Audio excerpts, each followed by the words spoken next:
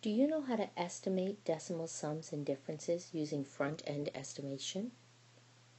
Take a look at this dilemma involving a restaurant bill. A family went out to eat at a restaurant. When the bill came, they wanted to figure out the cost of the meal as quickly as possible.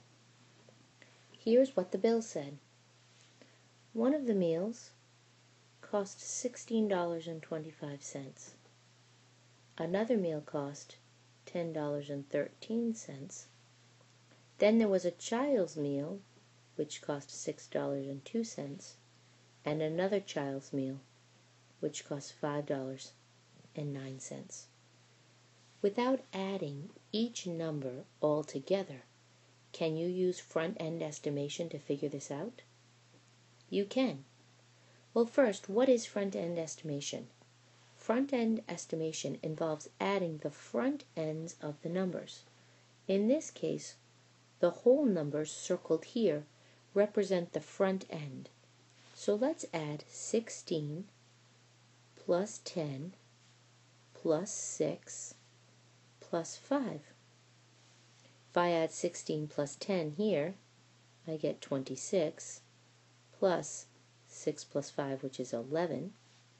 26 plus 11 is 37. The family could say that their meal costs about $37. Let's look at another one. We want to find this sum as an estimate. 14.03 plus 18.4 plus 20.7. Again, let's take the front ends. 14, 18, and 20. If we add 14 plus 18 plus 20, we get an estimate of 52. Now you can use front-end estimation to find differences as well. Here we have 12.3 minus 6.4. Again, let's take the front end. And in this case, the front end is everything to the left of the decimal point. I've got 12 here, and I've got 6 here. So I've got 12 minus 6, which is equal to 6. So we could say that an estimate for this subtraction problem is 6. Now take a look at this one.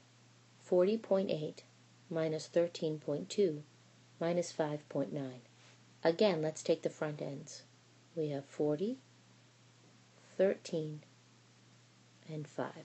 So we can rewrite the problem as 40 minus 13 minus 5. Let's work in order from left to right. 40 minus 13 is 27. 27 minus 5 equals 22. So an accurate estimation here for the differences between these three numbers is 22. That would be my answer. That would be my estimate. Let's look at one more. Here I have 5.9 minus 8.3. Again, take the front ends. 5 minus 8. You can say 5 minus 8. And in this answer, my estimate is going to be negative. 5 minus 8 is negative 3. Negative 3 is my estimate for this problem.